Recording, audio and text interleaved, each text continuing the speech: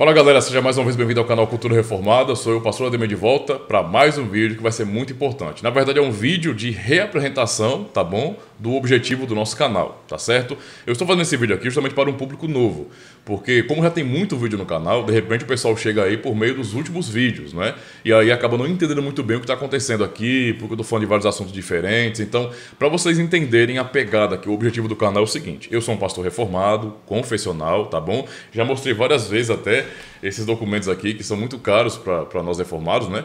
É, justamente porque a ideia do canal é apresentar a cultura reformada ou a fé reformada a partir de sua perspectiva histórica, a partir de sua tradição ou da sua herança confessional preservada nesses documentos, não é? E o objetivo, não é? Ele, ele surgiu ele, ele, veio em meu coração, justamente porque quando eu conheci a fé reformada, há muitos anos atrás, eu percebi que havia já um certo, de, um certo tipo de é, relativismo na internet, não é? Como nós bem sabemos, as pessoas de hoje elas costumam pegar os termos, tirar do seu contexto e redefini-los. Então é muito comum as pessoas não considerarem o valor, não é, histórico, o significado de certos termos, tá certo? E por conta disso, não é, o próprio nome reformado ficou meio que relativo, né? Então você fala sobre reformado, mas quando você vai ver, você não consegue identificar nada que ligue realmente a pessoa a essa herança confessional histórica. Então tem muita gente dizendo que é reformado aí, mas não é confessional, não conhece nem o que são confissões, cara. Tem um monte de gente dizendo que eu sou reformado, sou reformado. E você fala, ah, legal. Então quais são os documentos que você subscreve na guerra de vocês? As três formas de unidade, né? Sabe como é que é? Confissão belga, Catecismo Heidelberg, Canos de Dort, é? ou os padrões de Fé Westminster, misericórdia, eu não sou católico romano, não, para ter esse negócio de documento, de, de, de, de credo, de, de confissão de fé, de catecismo, percebe? Então, esse tipo de comportamento ou de respostas que você vê na internet é uma demonstração, é uma prova cabal de que as pessoas estão usando o termo reformado apenas como modismo. Infelizmente, é isso. Então, Dessa situação, dessa demanda, é que surgiu esse anseio por este canal. Eu tinha um outro canal chamado Sertão Reformado, mas era focado muito mais em eventos. Inclusive, eu baixei os vídeos que eu produzi ali, já cancelei o canal e estou repostando aqui nesse canal novo, tá bom? Já tem muito vídeo que eu já é, fiz aqui nesse canal. Tá certo? E esse é o objetivo. Então tá chegando agora, aproveita, pessoal. Tem muito material bom. Inclusive aqui, ó, tem uma playlist com o Catecismo Heidelberg completo, não é só botar lá para ouvir, deixar a playlist rolar. Tem até opção para você baixar MP3 para você ficar acompanhando também em casa, no celular, tudo. Eu estou produzindo recentemente, não é, os cânones de Dort em áudio. Vou fazer isso com a Confissão Belga e assim por diante, tá bom? Ah, na medida que eu for tendo tempo para poder fazer isso aí, eu vou estar produzindo para vocês.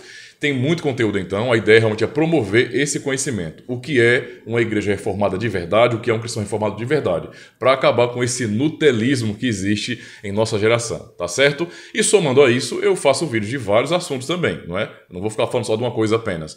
Mas essa é a ênfase, mas eu abordo outros assuntos também. Às vezes eu toco em assunto de política, assuntos de culto, não é? Às vezes eu toco em assunto, por exemplo, uh, do texto, né, a questão da manuscritologia ou crítica textual, porque é uma coisa que está muito em voga na internet hoje, o pessoal está falando demais sobre isso, e aí às vezes eu abordo porque eu vejo necessidade de defender não é, a, a, o texto tradicional e tudo. Então, à medida que esse tipo de coisa vai acontecendo, não é, e esses assuntos vão é, é, circulando aí pelas redes sociais, pela internet, eu também, é claro, quando me cabe, quando eu posso realmente fazer alguma coisa, eu procuro produzir algum conteúdo aqui, tá certo? Então, é um vídeo de apresentação para vocês que estão chegando agora no canal. Então, muito obrigado pela inscrição de vocês, não é? Já aproveita, além de comentar, dar like, recomenda o canal para mais pessoas, tá bom? Lembre-se, o canal aqui tem essa proposta de apresentar o que é a tradição reformada, tá bom? Então, significa dizer que eu tenho uma, uma cosmovisão muito específica dentro dessa tradição reformada, tá certo? Mas eu respeito muito todas as demais tradições, não é? É claro que em algum momento momento haverá discordância, nós vamos discordar em certos pontos, isso é normal, não é? Eu vou discordar de pentecostais, de batistas, não é de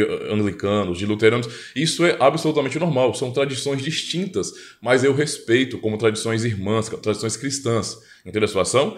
O meu objetivo aqui, então, não é atacar nenhuma tradição. Às vezes eu cito quando eu sou questionado ou quando eu preciso realmente mostrar as diferenças, o porquê nós não somos, por exemplo, luteranos, ou pentecostais, ou batistas. É, é, importante deixar pontuado quem nós somos, mas esse é o objetivo e jamais atacar os irmãos. Tá certo? Então, muito obrigado então. Deus abençoe a vida de vocês. Recomendo o canal para mais pessoas. Seja mais uma vez bem-vindo ao canal Cultura Reformada. Valeu!